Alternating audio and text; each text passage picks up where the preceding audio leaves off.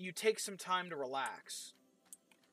And like and I know that that in and of itself can be very hard to find. Like a lot of like my gripes with myself is like, "Oh, you're not making progress. You're not working on the things that you need."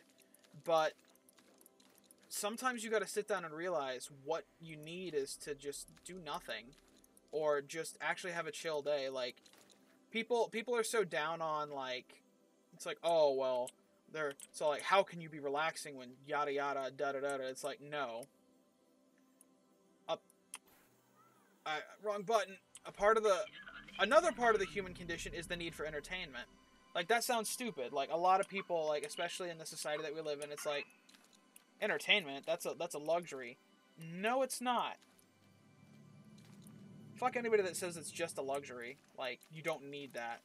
Yeah, look, Maslow's pyramid of needs and all that shit's like, oh, food, water, this and this. Like, no. We developed uh, a big fucking fucking meaty brains. Unlike this guy. You see this guy? This is Dodo. They didn't go extinct because they're stupid. That's actually here. Let's do a little little side, little side note, a little biology stuff. Dodos were not dumb. Um, actually, hell, I, I love talking about animals and stuff like that. So, dodos are actually, believe it or not, their lineage is the same animal that wiped out the saber-toothed tiger. I shit you not.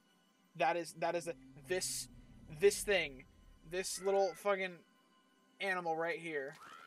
This thing wiped out the saber-toothed tigers. And that was more factors than just than just like they ate them or something like that. Is like so you've seen like ostriches and emus and stuff like that. These were even bigger. These were like the size of moas, another extinct animal. Uh, that one's a little more recently extinct than uh, than the predecessor to it.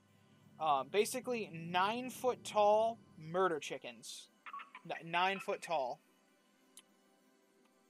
nine foot tall murder chickens, and they uh, they just became the dominant predator.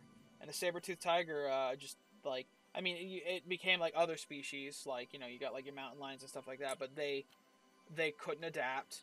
So, anyways, off that side note, it's like this guy, you know what he doesn't need? He doesn't need entertainment. He needs food. He needs water. He needs shelter. He needs to not get eaten by by people. Ah shit, I messed up. To, to say they're not stupid is what happened is the dodos uh, got isolated on an island, and because it's an island, having a nine foot tall size and super meat eating appetite did not help it. So it stayed apex predator and slowly evolved smaller and smaller until like it got to this size, and it had always been the apex predator. So it didn't it didn't have a concept of fear. So it just it just waddled its fat ass up to like Europeans, who were like, oh my god, this is the easiest to catch chicken I've ever seen and that's how they died. They weren't actually stupid, as they had no concept of fear. It's crazy.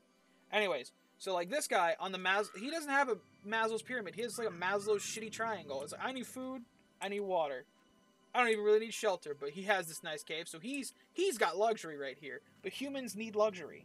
You need luxury, or not luxury. You need entertainment.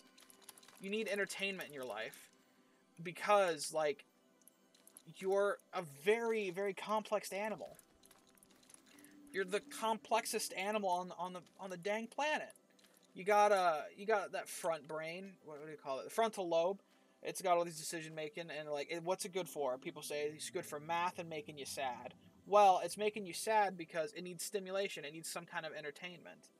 If you don't have entertainment in your life, like or or something or just something you enjoy, if you don't have that, you're just going to make yourself more miserable and it's not because like oh well I just need to work harder to get it. No, that's bullshit.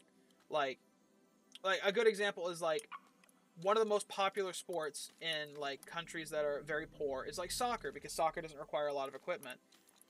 Do you do you do you look at those people and say, "Oh, well that soccer that soccer is a luxury." It's like, "No." You look at that and it's like, "Oh, it's the one thing they have to enjoy, so they they enjoy it." Like just because you might live in a country that's much more well off or, or luckier or what have you, does not mean like you aren't also entitled to that. It's it's the same basic concept. Everybody in every country is generally generally the same. You're people. You're humans, and humans have needs.